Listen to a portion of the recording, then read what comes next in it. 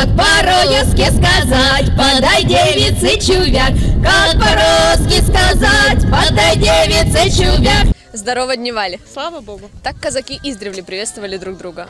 Сегодня мы находимся в казачьей станице, где проходят легендарные соревнования по бою на шашках. Праздник называется Казарла. Исторически Казарла – это общее самоназвание этнических казаков, и распространяется оно только на носителей казачьей культуры и казачьего языка.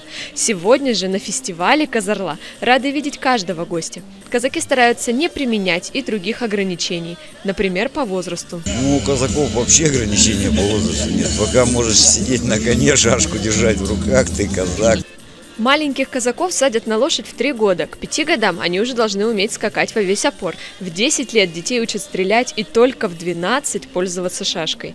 Несмотря на то, что этот вид оружия – гордость любого казака, детей к нему не допускают, чтобы не поранились. Господу помолимся, Господи помилуй. Для каждого казака неотъемлемой частью жизни является его вера. Поэтому традиционно соревнования по бою на шашках начинают с групповой молитвы всех участников.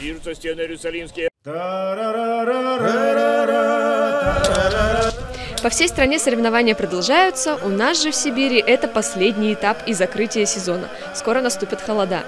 Казарла проходит в два этапа. Первый этап – это классическая рубка, что означает рубка с места.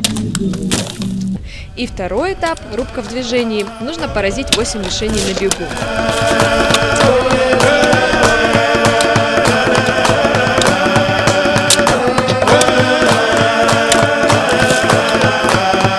Казаки славятся не только умением профессионально владеть шашкой, но и невероятным дружелюбием. Всех гостей фестиваля угощали полевой кашей и горячим чаем, катали на коне и даже разрешали поорудовать шашкой.